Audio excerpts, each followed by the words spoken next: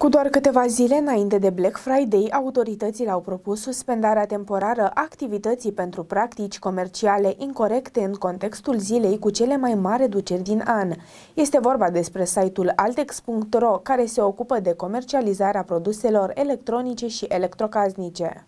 Comisarii de la Protecția Consumatorului au cerut suspendarea temporară a activității site-ului altex.ro după ce au accesat marți site-ul și au descoperit că magazinul vindea peste 1000 de produse promovate ca fiind la reducere de Black Friday, fără să aplice reducerile din prețul de referință. Așa le trebuie dacă au făcut reduceri false,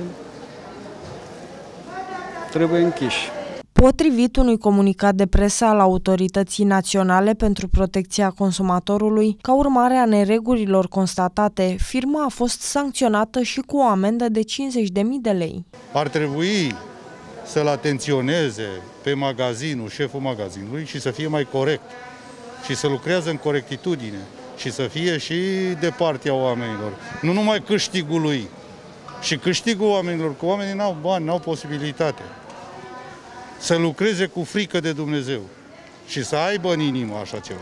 Că, că îi suspendă e o părere foarte bună. Dacă fac măgării de genul ăsta, au făcut tot timpul măgării de genul ăsta. Știe că de mâine se fac reduceri, astăzi măresc și vin practic la același preț, care a fost înainte. Nu este niciun fel de avantaj la nimeni, la nimic.